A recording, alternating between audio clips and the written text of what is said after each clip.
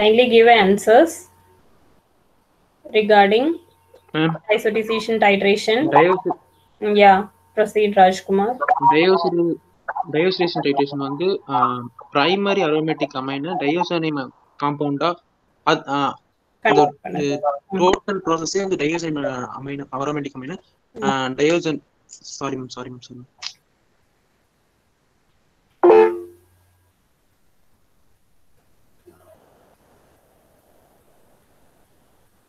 Yeah, proceed, Rajkumar. It was correct only what you said.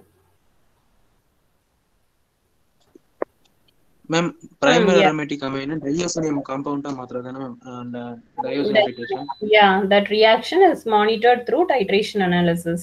Okay. Once the reaction is completed the endpoint is noted. Hmm? for amount calculation hmm. what are all the reagents involved in converting uh, primary aromatic amine to diazonium salt? Ma'am first நமக்கு வந்து ஒரு primary aromatic amine வேணும் ma'am அதுக்கப்புறம் sodium நைட்ரேட்டும் அப்புறம் hydrochloric acid வேணும் Right or nitrate? Nitrite ma'am Yeah. Mm. Sodium நைட்ரைட்டும் hydrochloric acid வேணும் ma'am. இது மூலமா தானே நமக்கு நைட்ரஸ் ஆசிட் கிடைக்கும் மேம். Mm. இந்த நைட்ரஸ் ஆசிடும் பிரைமரி அரோமேட்டிக் அமைனும் ரியாக்ட் பண்ணி நமக்கு நைட்ரஸ் அமைன் அப்படின்ற ஒரு ஃபார்ம் ஒரு காம்பவுண்ட் வரும் அது ஆட்டோமைஸ் இல்லாம நமக்கு டயோசினியம் அயன் வந்து கிடைக்கும். கிடைக்கும். ஓகே அப்புறம் என் பாயிண்ட் வந்து என் பாயிண்ட் டிடெக்ட் பண்றதுக்கு நம்ம வந்து மொத்தம் த்ரீ மெத்தட்ஸ் யூஸ் பண்ணுவோம் மேம் ஒன்னு வந்து எக்ஸ்டர்னல் இண்டிகேட்டர் யூஸ் பண்ணி ஒரு மெத்தட் மேம் எக்ஸ்டர்னல் இண்டிகேட்டர் நம்ம வந்து ஸ்டாச் ஐடட் பேப்பர் யூஸ் பண்ணுவோம் மேம் நமக்கு வந்து dark colour change blue colour change காமிக்கும் ma'am Yeah, whenever starch reacts with the iodine, it will give blue color. Okay, so best indication to detect uh, iodine is starch. Hmm? Uh, to detect starch is iodine. Iodine is the reagent to detect uh, starch. It will give you blue color. Okay. Hmm. Okay Hmm. Say அப்புறம் about yes ma'am இதுல இது வந்து first ma'am second வந்து என்னன்னா அயோ starch மியூசிலேஜையும் potassium தனித்தனியா எடுத்துக்கிட்டு அப்புறம் அது கூட நம்ம வந்து இந்த நமக்கு கிடைச்ச அந்த டயோசனியம்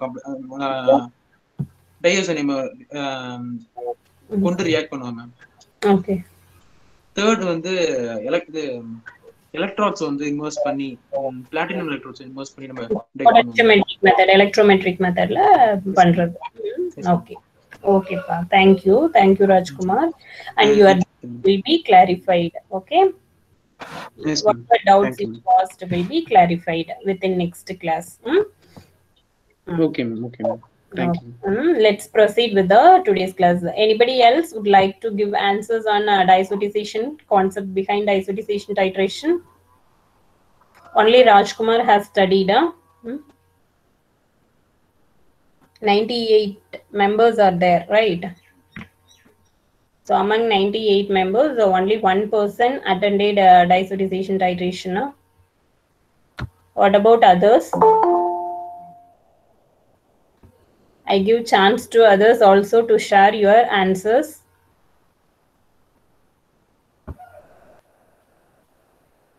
No. Okay, let's proceed with the today's class. Don't want to waste time. So in the last class, we have seen uh, titration. There is the formation of diazonium compound from primary aromatic amine. As per your syllabus, we are discussing uh, regarding basic principles, methods, and applications of diazotization titration. In that we have seen about basic principles and that introduction. Before moving on to uh, basic principles, we have seen introduction on diazotization titration mm, when it was discovered and uh, who was discovered uh, and what is the actual concept a conclusion or a overall summary of diazotization titration was discussed under introduction part right? Peter Grayson in uh, 1853 discovered diazotization titration for the conversion of primary aromatic amine to diazonium salt. Mm. and this reaction is monitored through a titration method then what are the basic principles we have seen principle behind the diazotization titration, the reagents and chemical reaction involved we have seen, and temperature maintenance is most important since between 0 and 5 degrees Celsius only diazonium compound will form. Okay. So the principle also was discussed. Then theory, hmm, individual reaction steps involved in diazotization titration was discussed briefly. Conversion of uh, as the first step conversion of sodium nitrate to so, uh, nitrous acid. Uh, this is nitrous acid. Hno2 is nitrous acid nano2 is nitrite uh, sorry sodium nitrite when it reacts with the concentrated hydrochloric acid it will immediately give nitrous acid. Hmm? And this nitrous acid reacts with primary aromatic amine to give diazonium salt hmm? in between that an intermediate compound is formed that is nitrosamine that is going for tautomerization and it gives uh, diazonium salt. If any excess of nitrous acid is there, that will be removed by addition of, uh, in order to eliminate this nitrous acid from titration, if at all you require during titration, then it is removed by ammonium sulfamate solution. Okay. And the endpoint is detected by starch iodide paper. This is the external indicator we are using in diazonium, um, uh, uh, titration process. Um, or else we can, um, and this so uh, means starch iodide paper will be composed of potassium iodide and starch mucilage. Uh, it is taken as a paper and it is used as an external indicator. It is not added inside. Um, even we can add inside as potassium iodide solution and starch mucilage also as indicators to detect the endpoint. Um, so endpoint reaction is mentioned here where potassium iodide is converted to hydrogen iodide and this is getting oxidized by nitrous acid uh, where uh, nitrous acid uh, has been derived um, that is from sodium nitrate. so what is the role of nitrous acid? It is converting primary aromatic amine to diazonium compound. What is the role of nitrous acid? It converts primary aromatic amine to nit diazonium salt. Um, once all the primary aromatic amine, what is primary aromatic aromatic amine, it is your sample, analyte. Um, once it is converted to diazonium salt, what happens? The excess nitrous acid will be there. Once the end, it reaches end point. Uh, at the end point, nitrous acid will be there uh, with excess of excess of nitrous acid will be exist in the titration process.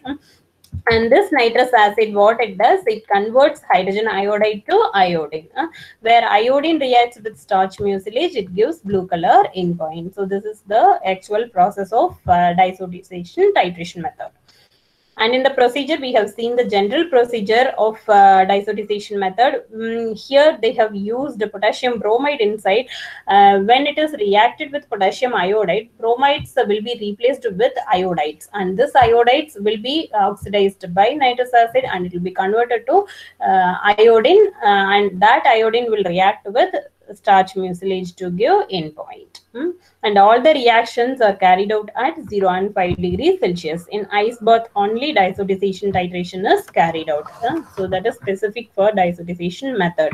Dye formation and external indicator and uh, temperature maintenance. Uh, these three are unique for diazotization method. Okay and there are uh, three uh, um, indicator uh, deduction endpoint deduction methods one is using external indicator as starch iodide paper and then immersing platinum electrodes uh, that means the potash, uh, potentiometric titration method. That method is called dead stop endpoint method where we'll be immersing pair of platinum electrodes. One platinum electrode will be polarizable. That means uh, it will be changing with the concentration of solution mm, present in the titration during titration that means uh, conical class uh, conical flask content will be changing uh, uh, with the concentration right? So that will be monitored by polarizable electrodes. Uh, and one more will be non-polarizable electrode and which will not be changing with the concentration and non-polarizable means it will not be oxidized or reduced. The electrode will be either not um, oxidized or reduced where polarizable electrode will be going for both oxidation and reduction and when it occurs when the sample concentration is changed uh, once it is reaching the end point at that point the uh, the titration itself it will be automatically stopped. That means the electrodes will be stopping its deduction. So that represents the endpoint has been reached. So that is represented with dead stop endpoint method. Okay. So this is another endpoint deduction method, electrometric method.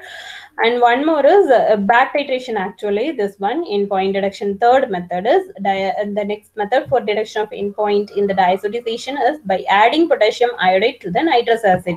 So in the conical flask itself, instead of using uh, iodide paper, we'll be adding potassium iodide to the nitrous acid itself with excess acid uh, which liberates iodine. That means um, nitrous acid, once it is reached the end point, the excess acid represents excess acid here represents excess nitrous acid after reaching end point. Uh, and that converts potassium iodide to iodine. Uh, and this liberated iodine in the solution will be reacting, uh, it will be back titrated with sodium thiosulfate. Sodium thiosulfate is reducing agent where iodine is oxidizing agent. Okay, so using this, this iodine, uh, once all the iodine reacts with uh, sodium thiosulfate, the excess iodine will be reacting with starch and it gives blue color. Okay, so this what uh, another endpoint deduction uh, takes place in the diazotization method.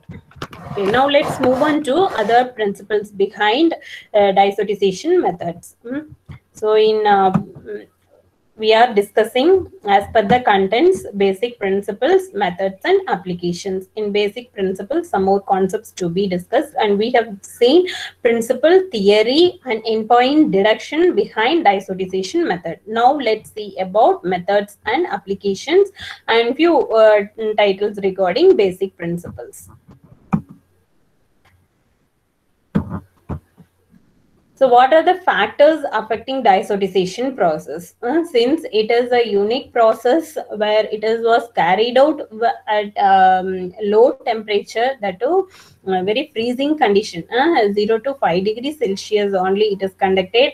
And uh, specific reagents are used for the conversion of diazonium salt uh, formation of diazonium salt. So we are adding different reagents how it affects and how the temperature will affect your diazonium salt formation uh, so definitely various factors will affect the diazotization process. And let's see what all the factors will affect this diazonium salt formation. Mm? And first one is the acid concentration. Acid represents a higher concentrated hydrochloric acid. Okay, so first one acid concentration, concentrated hydrochloric acid. If it is uh, increased more, then also it will affect the conversion of uh, sodium nitrate. Uh, then pH of the sodium nitrate. Mm? Sodium nitrate pH should be acidic only, right?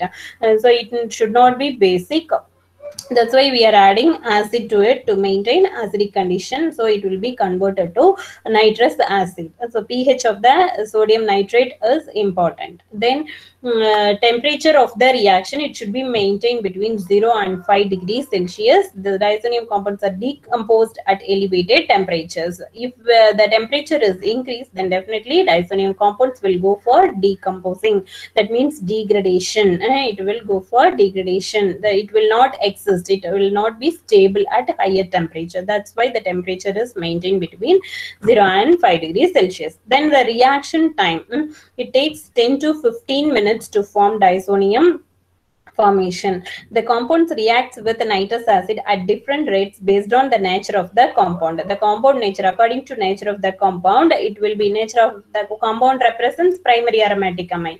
According to its nature, it will react accordingly with the nitrous acid. So it may take 10 to 15 minutes time for completion of reaction. Then the fifth factor is slow uh, diazotizable groups. Mm.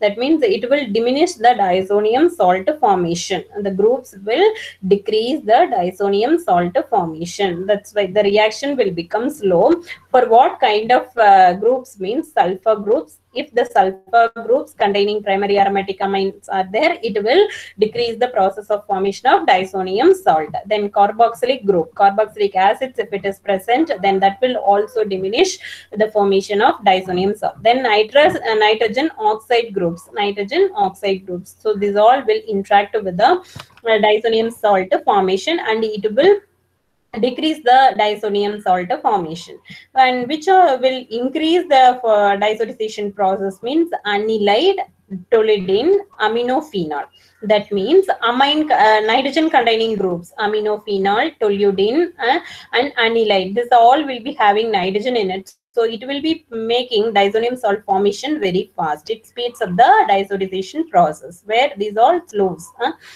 And so these are all six factors will affect diazotization process. What are all the six factors?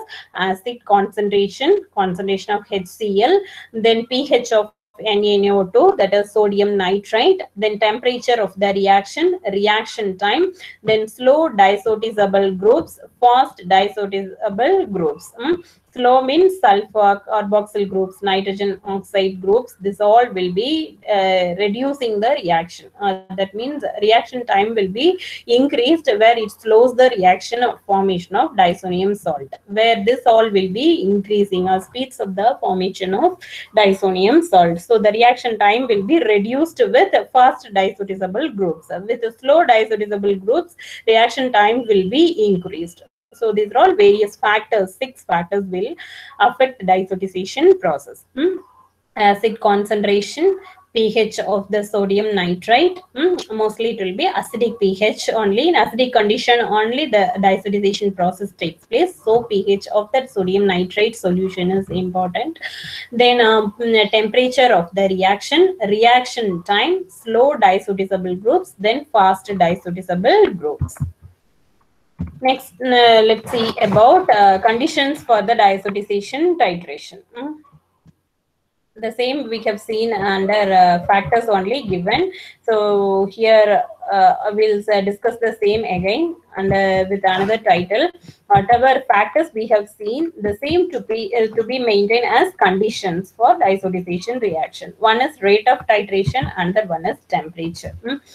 Rate of titration is that is uh, only the uh, rate of reaction uh, rate of uh, reaction. Addition of sodium nitrite to the sample solution rate represents speed hmm, speed of titration. How it will be affected? Slow groups will be decreasing slow diazotizable group will be decreasing the rate hmm, where um, fast will be increasing the rate. That's what uh, mentioned with rate of titration hmm. Uh, so this to be maintained during the titration. So uh, if you find a slow diazotizable groups then you could add or substitute with fast diazotizable groups also. Hmm. the addition of sodium nitrite to the sample solution takes time to react with the amino group present in the sample solution different amino compounds react with the nitrous acid at different rates. Based on this, the amino compounds are classified into two main groups. Um, they are as follows. One is slow diazotizable compounds, another one is fast diazotizable compounds. Um, and the reaction rate is increased by addition of potassium bromide solution. See here, potassium bromide, why we are adding? The reaction rate is increased. So rate of reaction is increased with potassium bromide solution. Mm. What are the slow diazotizable compounds? Sulfanilic acid and uh, anthranilic acid. Uh, and these two acids are primary aromatic amines. Sulfanilic acid and anthranilic acid. Where uh, what are the fast diazotizable compounds? Aniline, aminophenol, and toluene. These are fast diazotizable compound from which we can get easily diazoti uh, diazonium salts. Hmm? So this is how rate of reaction is altered and this is increased by the addition of potassium bromide solution. Now you come to know the reason for adding potassium bromide solution during titration. Okay, it increases or it fasts up the reaction. Rate of reaction will be uh, means uh, what? Boosted up or it will be elevated uh, or it will be speeded up. Whatever you can say that is achieved by adding potassium bromide solution. Okay? So all are listening right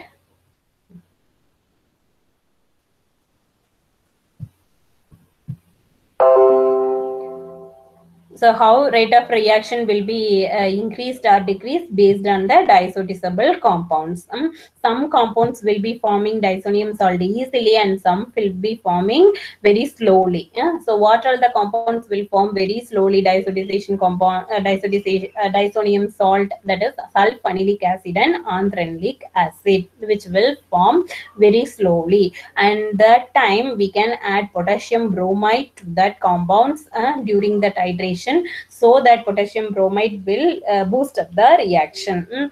where fast diazotizable compounds like aniline, aminophenol, and toluidine, we no need to add potassium bromide. It will be immediately giving diazonium salt. And next condition is temperature. Maintenance of the temperature is the main condition for diazotization titration since the diazonium salts formed are not stable at elevated temperature that already we have seen, right? If it uh, increases above 5 degrees Celsius, the diazonium salts will not exist. It will go for decomposition or degradation uh, and it is prevented by maintaining the temperature between 0 and 5 degrees Celsius. Okay. So this is what temperature maintenance. So these are two conditions for the diazotization titration. First one is uh, rate of titration, another one is temperature. Hmm? Rate of titration is increased by which reagent? Potassium bromide reagent. And what are the compounds are slow diazotizable compounds? Sulfanilic acid and anthranilic acid. What are fast diazotizable compounds? Aniline, aminophenol and toluene. Hmm? And uh, temperature 0 to 5 degrees Celsius. Hmm? If it increased what happens? The degradation of diazonium salts takes place. And let's see about the second part methods. Hmm. can anyone say the uh, may explain what we have discussed factors and conditions? Just give the side headings on uh, factors and conditions for diazotization titration give answers on factors and conditions for diazotization titration.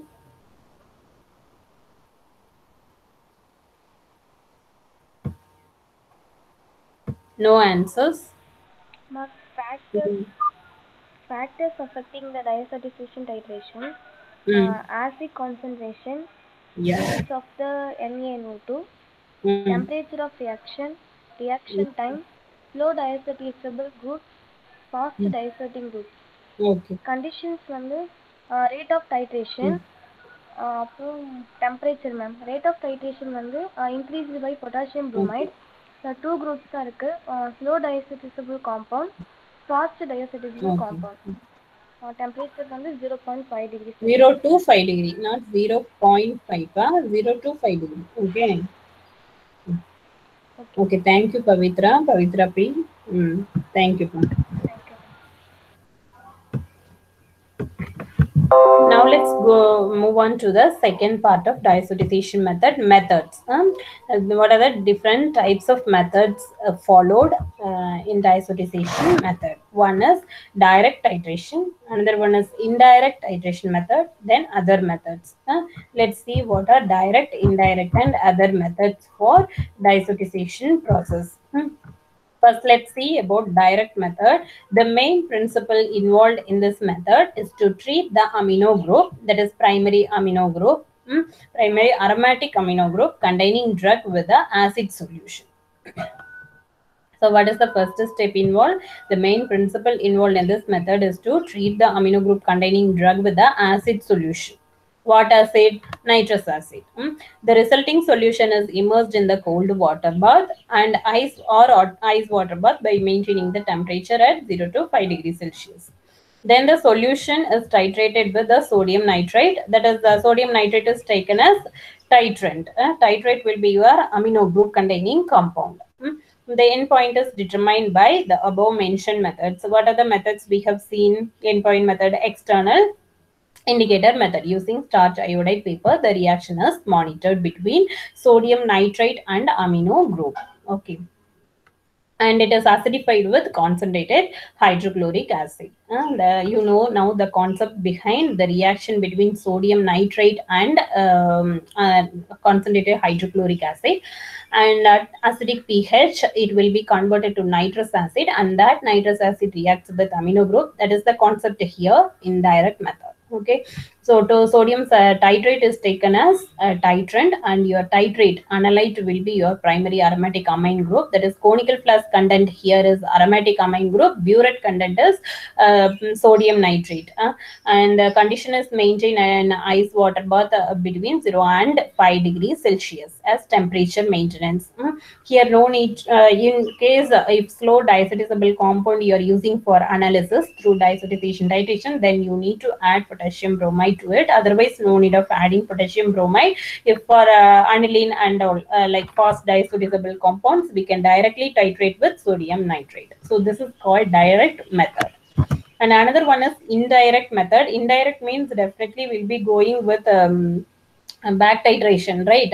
Back titration only indirect method. Uh, whatever released in the conical flask, uh, whatever reagent released in the conical flask will be titrated back with some another uh, titrant. Okay, so that is called indirect method. Indirect method, otherwise called as back titration method. Um, here, the principle involved in this method is excess of nitrous acid is added to the titration uh, sample solution, and it will be back titrated with other appropriate titrant that means excess nitrous acid will be there no? Once diazonium salt is formed uh, formed and that will be back titrated with other appropriate titrant. Mm. and this method is mainly used for the titration of insoluble diazonium salts. If it is soluble then we cannot go for back titration. It since the nitrous acid reaction will be reversible for soluble diazonium salts. For insoluble diazonium salts only nitrous acid whatever there in the excess acid it will not go for reversible reaction or uh, it will not uh, solubilize the salt. Once diazonium salt is formed, it is insoluble, so it will not come back for the um, means the reaction will be irreversible, not reversible. Reversible means backward reaction is possible. Mm. With a back titration process, only forward reaction is possible. Once primary aromatic amine is converted to diazonium salt, it will not uh, reform back to uh, primary aromatic amine. Mm. So that time uh, nitrous acid will be there as such. So excess nitrous acid will be titrated back with another appropriate titrate. So that is called indirect method. Mm. Indirect method, directly primary aromatic amine is the titrated with sodium nitrate and here uh, sodium nitrate will be added inside the conical flask itself along with the primary aromatic amine to form diazonium salt. Once all the uh, uh, primary aromatic amine has formed diazonium salt, the excess nitrous acid will be there in the conical flask now and that will be back titrated with appropriate titrant. Mm, Since um, nitrous acid is oxidizing agent titrant will be of uh, reducing agent. For example sodium thiosulfate we can take uh, and um, here uh, you can add uh, endpoint deduction third method we have discussed now in that case it will be followed. Uh, just uh, we'll go through that. Mm -hmm. Here, excess nitrous acid is titrated with sodium uh, thiosulfate, uh, where potassium iodide will be added to the nitrous acid, and this nitrous acid will convert iodide to iodine, and the liberated iodine will be titrated with sodium thiosulfate, where starch uh, used as indicator, external indicator. So this is what um, indirect method, back titration method. So nitrous acid will be oxidizing agent. It will oxidize potassium iodide to iodine. Iodine also again oxidizing agent and it will be oxidizing sodium thiosulfate. Uh, titrant represents sodium thiosulfate. Burette content in back titration will be sodium thiosulfate, where conical flask content will be iodine. It is liberated. Where uh, from where it is liberated from potassium iodide added to the conical flask solution. And uh, how the potassium iodide converted to iodine by means of excess nitrous acid. Hmm? How nitrous acid is formed from sodium nitrate in presence of acid. Okay. Um, uh, once uh, nitrous acid is formed, it converts potassium iodide to excess nitrous acid is there, it will convert it to iodine. And this iodine will be back titrated with uh, sodium thiosulfate. Sodium thiosulfate is your burette content. And what is the in, uh, indicator starch? Uh, then appearance of blue color is the endpoint. So this is how uh, back titration method is carried out. So that is called indirect method. no um, sodium nitrate or um, primary aromatic amine is directly interacting. Uh, that means with the burette and uh, conical flask content. Here it is back titrated. All the contents we are taking in the conical flask itself. What are the contents? Primary aromatic amine, concentrated HCl, sodium nitrate, and potassium iodide. Mm, this all will be taken in the conical flask itself. Uh, in uh, keeping in ice bath, the reaction is allowed to proceed.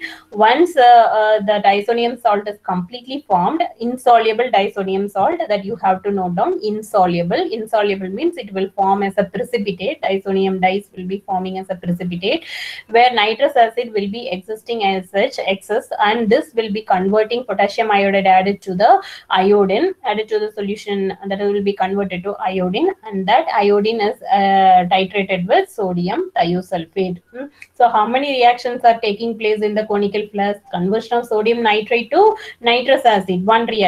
Then that nitrous acid converts primary aromatic amine to diazonium salt. That is second reaction. And what is third reaction? Nitrous acid converts potassium iodide to iodine. This is third reaction. And this liberated iodine is again uh, reacting with burette content. Mm, That is fourth reaction will be the titration, actual titration reaction. Mm that is iodine uh, reacting with sodium thiosulfate. And once all the iodine present in the conical flask reacted with uh, sodium thiosulfate excess iodine will give blue color with the starch. Starch is used as external indicator. One drop of you can use a tile white uh, tile uh, where you can take um, a drop of starch solution a drop of conical flask content uh, until it gives blue color the reaction is monitored uh, once uh, excess iodine is present then it is added with starch it will give blue color. So that is the indication of endpoint in indirect method. Okay. So this is how uh, indirect method is done for diazotization process for insoluble diazonium salts. For soluble diazonium salts we'll be going with uh, direct method only. What are the other methods available? Hmm? the main principle involved in this method is the formation of the diazo oxide which is more stable than diazo compound formation of diazo oxide which is more stable than diazo compound where diazo compounds are unstable at elevated temperature. So comparing this diazo compounds diazonium salts diazo oxides will be stable. So the formation of this reaction is monitored in diazonium uh, titration for example, the aminophenol is readily oxidized. Uh, aminophenol, it is fast diazotizable compound, right? We have seen uh, fast diazotizable compounds. What are fast compounds? Aniline, aminophenol, and toluidine. So aminophenol will be fastly forming diazonium salt. Mm. So this will be readily oxidized by nitrous acid and converted to quinones. Aminophenol will be converted to quinones in the presence of copper sulfate. Copper sulfate also oxidizing agent. So in presence of copper sulfate, mm, this will be oxidized. Aminophenol will be readily oxidized. And so the reaction is very fast by means of nitrous acid. Where how nitrous acid is uh, obtained? The reaction between sodium nitrate and concentrated hydrochloric acid. And that converts aminophenol to quinones in presence of copper sulfate solution. Then it forms diazo oxide compounds. Uh, and diazo oxide is more stable than diazo compounds. And this readily undergoes coupling reaction with the nitrous acid. Mm. And, uh, coupling reaction means to form uh, a diazonium compound only. Uh, readily undergoes coupling reaction with the nitrous acid. So this is what another method of uh, uh, analyzing diazonium salts. Okay, aminophenol. Uh, taking example as aminophenol, converting into quinones and quinones it goes for formation of uh, diazo compounds uh, by means of coupling reaction with the nitrous acid let's see about advantages of um, diazotization process so now uh, how many methods are available uh, behind a diazotization method direct method indirect method and other method. Other method uh, getting diazo oxide. Hmm, in this method comparing with getting diazonium salts what are the oxidizing agents are used? Copper sulfate and nitrous acid. Nitrous acid only source for converting aminophenol to diazo oxide, hmm, where copper sulfate is as a mediator uh, to form a quinone and in presence of quinones um, means that quinones will go for forming diazo oxides through coupling reaction, okay, with the nitrous acid. Quinones are considered as intermediate products like nitrosamine. Uh, during the formation of diazo compounds, what um, tautomeric form of uh, diazonium compound is obtained? Nitrosamine. And this nitrosamine goes for tautomerization and it gives diazonium compound. Likewise, quinone is the intermediate here when uh, aminophenol is converted to diazo oxide. Okay. Let's see the advantages. It is selective for all the types of sulfonamides, sulfonamide drugs, sulfur drugs. Okay, sulfur drugs are assayed by mainly diazotization method. So it is very selective for all types of sulfonamides. Then it is sensitive. Hmm, only primary aromatic amines can form diazonium salts. None of other acids or other compounds will not be forming uh, process. So it is very sensitive and it is reproducible. The reaction will be uh, very accurate so that um, you can get very uh, reproducible and repeatable results behind diazotization titration. Um, reaction will be very accurate, okay, and selective, sensitive. All the terms we can apply for advantages of uh, titration. Okay, it is selective, sensitive, and reproducible. Selective means it is selective for primary aromatic amines. For example, sulfonamides, and it is sensitive. Only primary aromatic amines can form diazonium salts during this titration, and it is reproducible. Whatever results we get can be reproducible. Okay. So that's what what are the advantages says about advantages of uh, diazotization method. Now let's see what are the disadvantages of this method.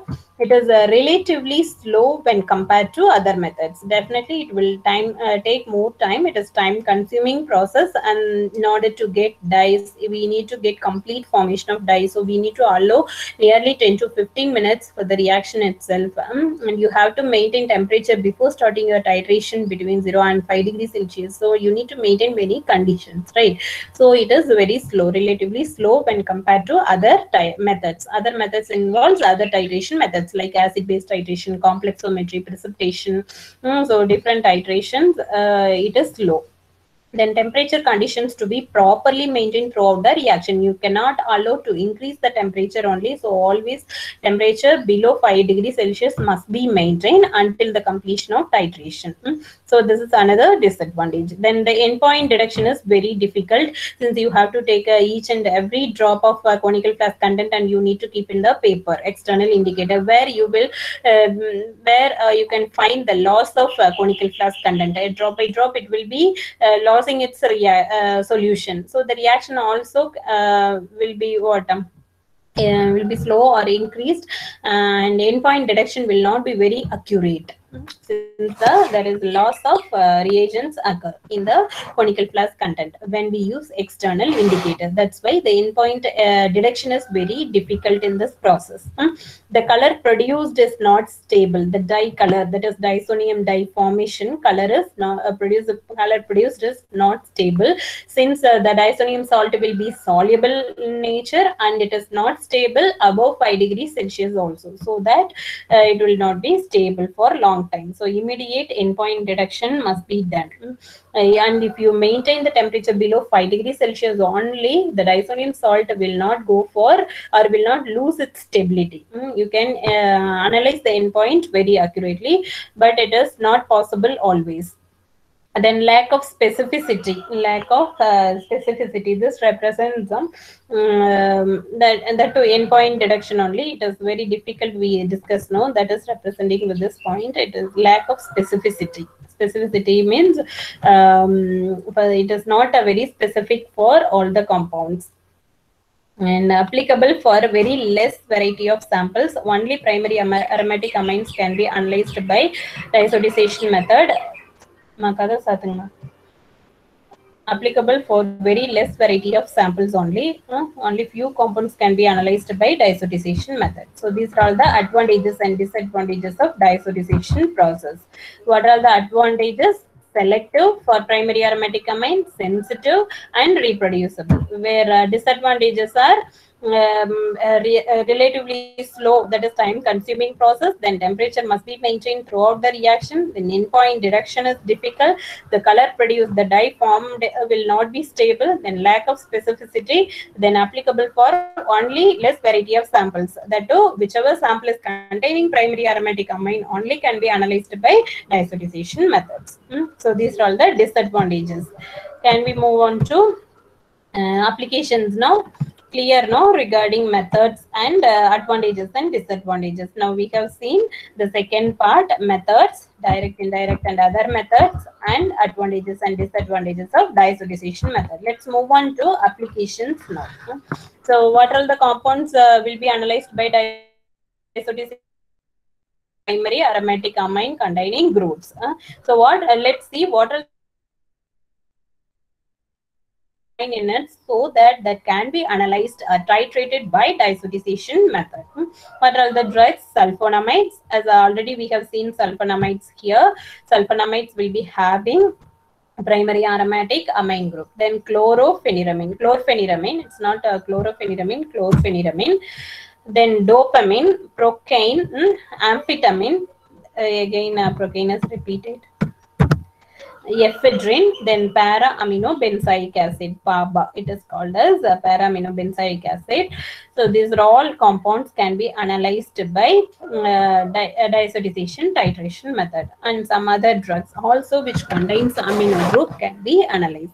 Sulfonamides, it is another one broad category of drug molecule. Then chlorpheniramine, dopamine, procaine, amphetamine, ephedrine, and para-aminobenzoic acid. These different category of drugs with primary aromatic amines can be titrated with diazonium diazotization titration method. Okay.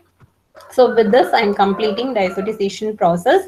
Since um, in your syllabus, no specific compound has been given for um, like uh, performing experiment, uh, like uh, in the syllabus. So during lab hours, you will be doing diazotization method. So where you will be learning what are all the different reagents are added and what are the roles of different reagents um, and how diazonium salt is formed and what are the different drugs you are analyzing everything. How it is calculated for quantity and purity.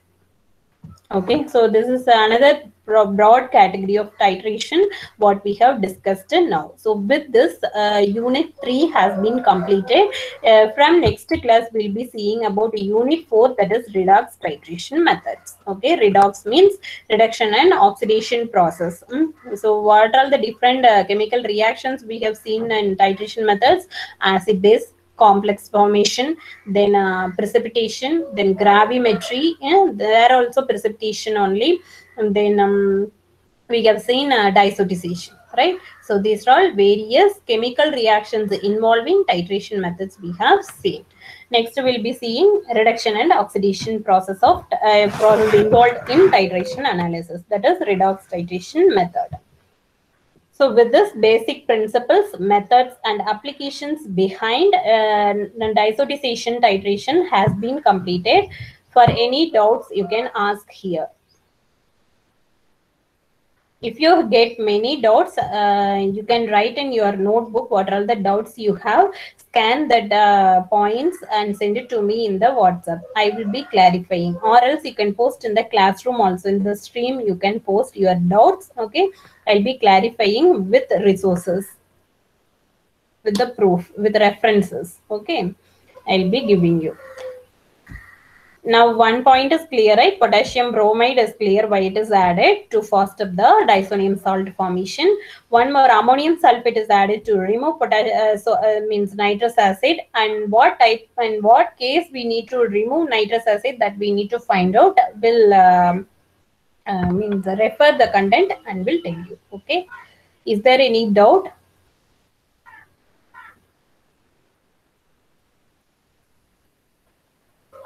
For any doubts, you can ask questions or post it in the chat box.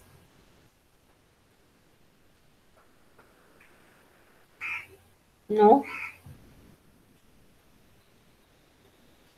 No response, so nobody is listening, right?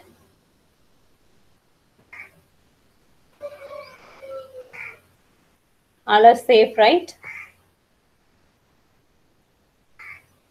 Is there any health issues anybody is having in the class? No, no. Okay, anyway, be safe and take care. Thank you for your response. Mm, thank you, Kuvarasan, Sudhir, Naveen. Okay, bye. We'll meet in the next class. Mm, study well.